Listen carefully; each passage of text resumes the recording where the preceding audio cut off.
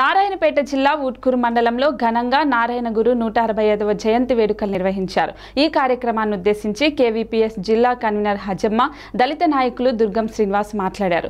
కేరళ రాష్ట్రంలో జన్మించి ఒకే కులం ఒకే మతం అందరికీ ఒకే దేవుడు అనే నినాద లక్ష్యంతో బ్రిటిష్ వారి కాలంలోనే అసమానతలపై అలుపెరగని పోరాటం చేసిన యోధుడు నారాయణ గురు అని గుర్తు చేసుకున్నారు. ఈ కార్యక్రమంలో బీఎస్పీ మండల అధ్యక్షురాలు రోసినమ్మ గౌతమ్ తదితరులు పాల్గొన్నారు. దాసు మరి అదే గౌతమ బుద్ధుని. వీళ్ళ ఆలోచన విధానాన్ని ఆయన ఈరోజు రాజ్యాంగంలో పొందుపరిచి అసమానతను ఎలా ఎదిరించాలి ఎలా నిర్మూలన చేయాలి దేని ద్వారా చేయాలనే ఒక ఆలోచనని వాళ్ళ గురువుల ద్వారా తీసుకున్నారు కాబట్టి మరి ఆ- విధంగా ఈరోజు ప్రతి ఒక్కరము ప్రతి కుటుంబంలో అసమానతలకు గురవుతున్నాం.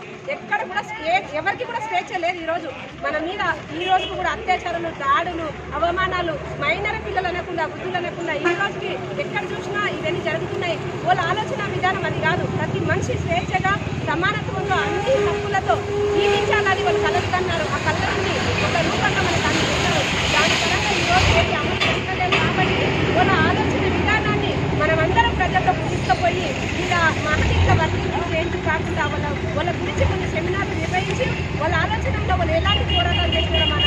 తెలుసుకోవాలి. మరి అ- అదేవిధంగా ఈరోజు చేసినందుకు ఇక్కడికి వచ్చిన ప్రతి ఒక్కరు